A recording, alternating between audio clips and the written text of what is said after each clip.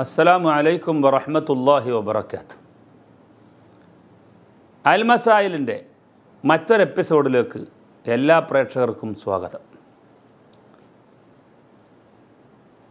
ലൈലത്തുൽ ഖദർ എന്നാണ്. ഇതാണ് ഇന്നത്തെ നമ്മുടെ ടോപ്പിക്. ലൈലത്തുൽ ഖദർ ഖിയാമത്തു നാൾ വരെ നിലനിൽക്കുമെന്ന് മഹാനായ ഇബിനു ഹജർ ഹൈത്തമി റളിയല്ലാഹുവന്നു തൊഫയുടെ മൂന്നാം വാള്യം മുന്നൂറ്റി അറുപത്തി മൂന്നിൽ രേഖപ്പെടുത്തുന്നു.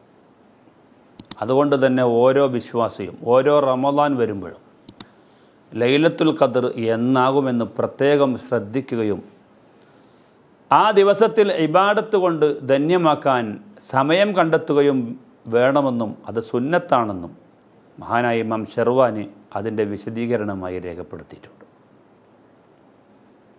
ലൈലത്തുൽ ഖദർ എന്നാണെന്ന് കൃത്യമായി പറയാൻ പറ്റാത്ത വിധത്തിൽ ഒരുപാട് അഭിപ്രായങ്ങൾ ഈ വിഷയത്തിൽ വന്നിട്ടുണ്ട്. മഹാനായ ഇമാം ഫഖറുദ്ദീൻ റാജി റലി അള്ളാഹുവനു തഫ്സീർ മുപ്പത്തിരണ്ടാം വാള്യം ഇരുന്നൂറ്റി മുപ്പതാം പേജിൽ രേഖപ്പെടുത്തിയത്. മഹാനായ ഹസനുൽ ബസദ് റലി അള്ളാഹുവെന്ന് പറയുന്നു ലൈലത്തുൽ ഖദർ പതിനേഴാം രാവിനാണെന്ന്.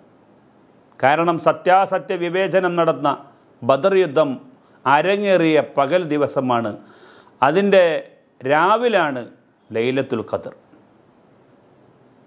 അതുകൊണ്ട് തന്നെ പല സ്വഹാബികളും സയ്യിദുബിന് സാബിത്ത് റലി അള്ളാഹുവന്നു ബദറിന്റെ ദിവസത്തിൽ ഉറക്കമൊഴിഞ്ഞ് ക്ഷീണിതനായി കാണപ്പെട്ടപ്പോൾ എന്താണ് ഇത്രയും ക്ഷീണം വരാനുള്ള കാരണമെന്ന് ആരാഞ്ഞ സമയത്ത് ഇന്നലെ ലൈലത്തുൽ ഖദർ പ്രതീക്ഷിച്ചുകൊണ്ട് രാത്രിയെ ഞാൻ ഹയാത്താക്കിയെന്നും കാരണം ബദർ നടന്ന ദിവസത്തിലാണ് ലൈലത്തുൽ ഖദറാകാൻ സാധ്യതയുള്ളൂ എന്ന് മഹാനവരുകൾ പറഞ്ഞതായി താരീഖുൽ ഉമമി വൽ മുലൂക്ക് എന്ന ഗ്രന്ഥത്തിൽ രേഖപ്പെടുത്തിയിട്ടുണ്ട്. മഹാനായ ഹസൻ ബസറിയല്ലാഹുവന്നു ലൈലത്തുൽ ഖദർ പതിനേഴാം രാവിലാണെന്ന് അഭിപ്രായം ഫഖറുദ്ദീൻ റാസിർ അലി അള്ളാഹുവിന് രേഖപ്പെടുത്തുന്നു. എന്നാൽ മഹാനായ ഇമാമുന ഷാഫി റലി അള്ളാഹുവന്നു ലൈലത്തുൽ ഖദർ ഇരുപത്തി ഒന്നിനോ ഇരുപത്തി മൂന്നിനോ ആണ് എന്ന് പ്രത്യേകം ഊന്നിപ്പറഞ്ഞതായി നമുക്ക് കാണാൻ പറ്റും.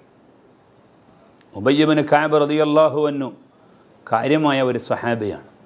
അദ്ദേഹം ലൈലത്തുൽ ഖദർ ഇരുപത്തിയേഴാം രാവിലാണെന്ന് ഞാൻ ആണയിട്ട് പറയുന്നു എന്ന് പറഞ്ഞുകൊണ്ട് അദ്ദേഹം പ്രഖ്യാപിച്ച ഒരു പ്രഖ്യാപനം സ്വഹീഹി മുസ്ലിം റലിയല്ലാഹുവന്നു തന്റെ മുസ്ലിമിൽ രേഖപ്പെടുത്തിയിട്ടുണ്ട്.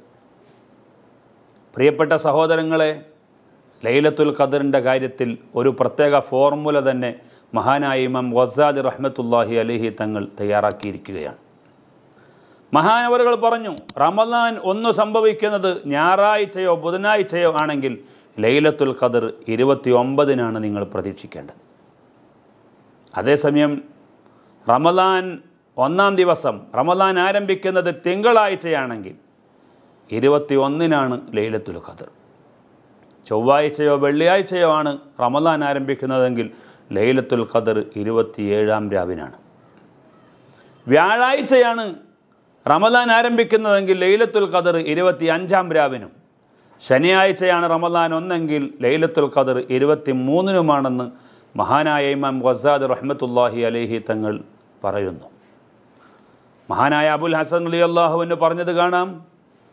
ഞാൻ ഈ കായിക പ്രകാരം എന്റെ ജീവിതത്തിൽ എനിക്ക് ലൈലത്തുൽ ഖദർ ഒന്നും തന്നെ നഷ്ടപ്പെട്ടിട്ടേ ഇല്ല എന്ന് മഹാനവരുകൾ പറയുകയും ഇത് ഇമാം ഷെർവാൻ റതിയല്ലാഹുവന്നു ഷെർവാനി മൂന്നാം വാള്യം നാനൂറ്റി അറുപത്തി മൂന്നിൽ രേഖപ്പെടുത്തുകയും ചെയ്തിട്ടുണ്ട്.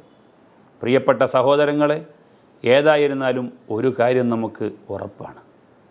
പതിനേഴാം രാവ് മുതൽ അവസാന ദിവസം വരെ അവസാനത്തെ പത്തിലെ ഒറ്റയിട്ട രാവുകൾ പ്രത്യേകിച്ചു. ലൈലത്തുൽ ഖദർ ഇരുപത്തിനാലിനും അതുപോലെ ഇരുപത്തി ഒമ്പതിനുമൊക്കെ സംഭവിക്കാമെന്ന് പറഞ്ഞ പല ഇമാമിങ്ങൾ വേറെയുമുണ്ട്. ഏതായിരുന്നാലും നമുക്ക് നല്ലത് പതിനേഴ് കഴിഞ്ഞു മുതൽ ഉള്ള ഓരോ ദിവസവും പ്രത്യേകിച്ച് റമദാനിലെ ഒറ്റയിട്ട രാവുകൾ ലൈലത്തുൽ ഖദർ പ്രതീക്ഷിച്ചുകൊണ്ട് രാത്രി ഹയാത്താക്കാനും പള്ളിയിൽ എഴുത്തിക്കാഫിരിക്കാനും ഖുർആൻ ഓതാനും ദിക്കർ ചൊല്ലാനും പ്രാർത്ഥന കൊണ്ട് നിരതമാകാൻ നിരതരാകാനും പ്രിയപ്പെട്ടവരെ നമ്മളെല്ലാവരും സമയം കണ്ടെത്തണമെന്ന് ഓരോരുത്തരോടും ഓർമ്മപ്പെടുത്തുന്നു. അള്ളാഹു താല തൗഫീക്ക് ചെയ്യുമാറാവട്ടെ. നമ്മുടെ ജീവിതത്തിൽ നാം അനുഭവിക്കുന്ന എല്ലാ റമദാനുകളിലെയും ലൈലത്തുൽ ഖദർ ഇബാടത്ത് കൊണ്ട് ധന്യമാക്കാൻ നമുക്കെല്ലാവർക്കും അള്ളാഹു ഭാഗ്യം തരട്ടെ ആമീൻ. എന്ന് പ്രാർത്ഥിച്ചുകൊണ്ട് നിർത്തുന്നു. അസ്സലാമു അലൈക്കും വറഹ്മത്തുള്ളാഹി വാബർക്കാത്തു